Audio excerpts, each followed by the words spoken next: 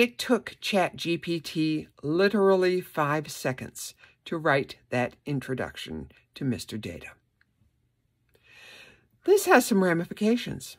First of all, research papers, essays, and even Toastmasters talks get way easier to write because there's their ChatGPT just generates them for you. And in fact, it's so easy to do this that the New York City schools have banned ChatGPT from the classroom, which I actually think is a mistake because the tool is now there. It's freely available. Kids, the kids need to learn how to use it and how to use it well. Um, but this artificial intelligence is amazing. It can write blogs, it can write letters, it can write articles, books, mobile app code for games and websites, music, scripts, diet plans, workout plans, answer complex. It can, the list goes on and on. And hey, guess what? It's free to use. And it's fun.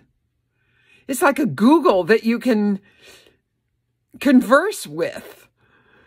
It takes you right to the answer to your question without going through all of the Google um, multiple, multiple, multiple hits. And you can ask ChatGPT clarifying questions and get responses to those questions and drill down. This is only version one. This is just going to get scarier and better with time. Right now, ChatGPT is text-based. But OpenAI, which owns ChatGPT, um, also owns an image generator. That image generator is perfectly capable of interacting with ChatGPT to generate smart images.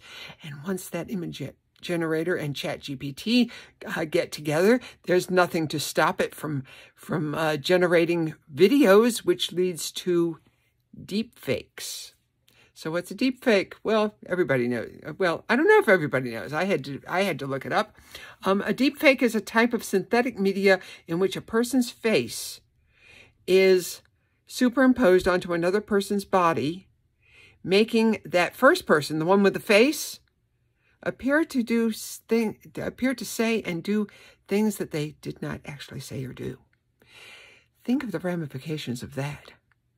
You know, I can take Donald Trump and turn him into a flaming liberal with this.